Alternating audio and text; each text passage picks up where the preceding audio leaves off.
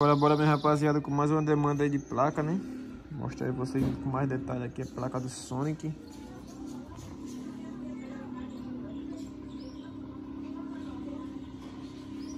Aí, é. Placa em 3D. Top, top mesmo, né? O brilho dessa placa. Nosso parceiro aí, né? Mandou botar o nome dele de Gavião, né? Esse nome dele é esse realmente.